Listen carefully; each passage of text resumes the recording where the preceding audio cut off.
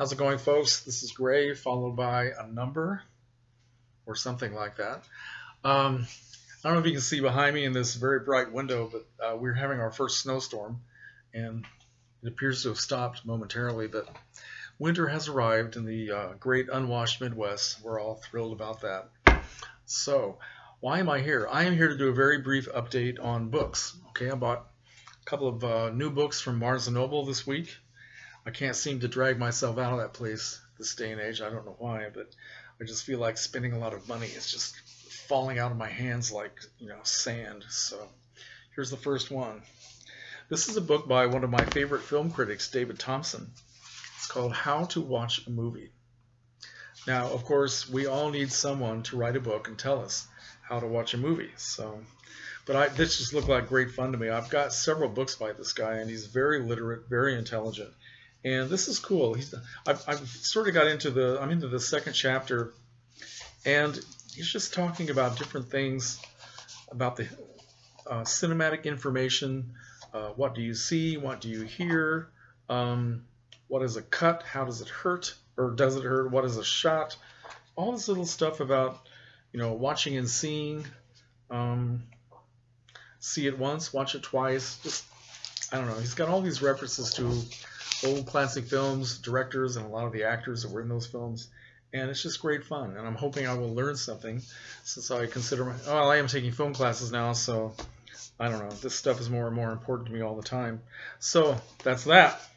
Uh, okay. I also bought this wonderful book all about the work of Woody Allen.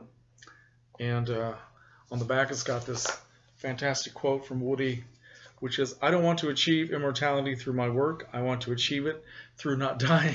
So I know a lot of people don't like Woody Allen anymore because of his personal life.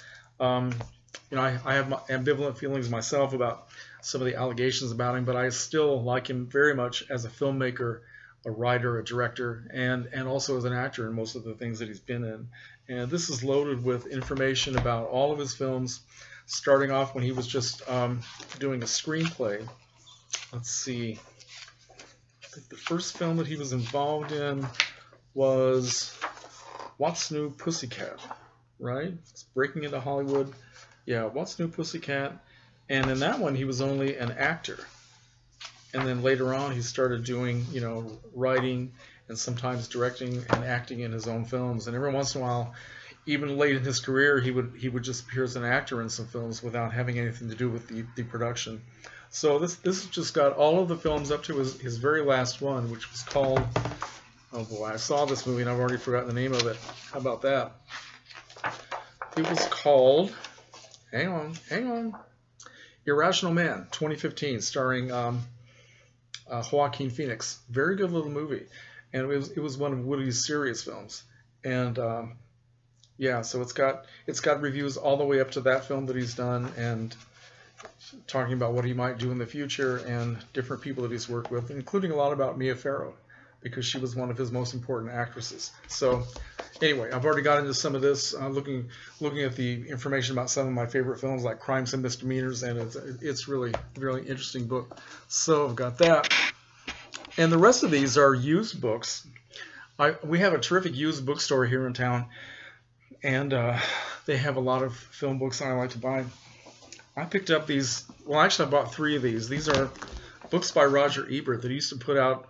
I think he was putting them out every year or almost every year. Uh, all the film reviews for that year and and during that time, um, 2002, 2005, and I bought another one of these.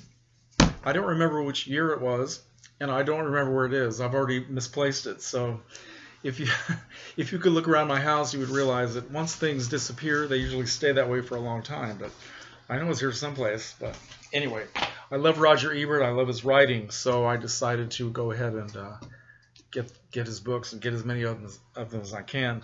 Okay, I also found this really fun uh, book. It's called The Great Movie Serials. Now, this was actually published way back in 1971. It's still in pretty good shape. What it has it's got most of the major serial films uh, all through the years of Hollywood and uh, talking about each one and giving a list of every film made in those series and all the actors who were involved in it.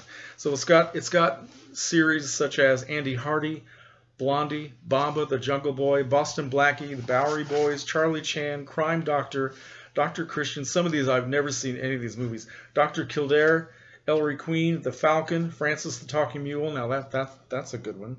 Actually, I've never seen any. Uh, Hopalong Cassidy, James Bond, Jungle Jim, The Lone Wolf, Ma and Pa Kettle, Maisie, starring Ann Sothern of MGM, Matt Helm, Mr. Moto, Philo Vance, The Saint, Sherlock Holmes, Tarzan, and The Thin Man. So, yeah, it's got a little bit of everything. And uh, I don't know. This is the kind of thing that I read at breakfast. It's just for fun. I also bought another book. I just picked this up because it was uh, so strange. It's called Too Cool. Too Cool. It says on the cover, an in-depth guide to the most out-of-sight movies, music, books, TV, characters, and creation creations. The real rap on hundreds of items of enduring bossness, whatever the hell that means, complete with product information and shopping leads. Okay, from the creators of the catalog of Cool, which I never heard of, but on the back it's got "Shake it up, baby," you know, it's loaded with pictures, um, little anecdotes about different actors, different films, a lot of which I've heard of, a lot of which I've never heard of, and um, it's just fun to look through. And finally, I bought this, um, the new Star Trek uh, magazine 2016 special, which is nice, big and thick, and uh, everything you never wanted to know about Star Trek for the new year. And that's my update. Uh, that's probably enough. So if you have any comments about the books that I'm showing you, um, any questions or anything, just just spit it out, folks. It's all good.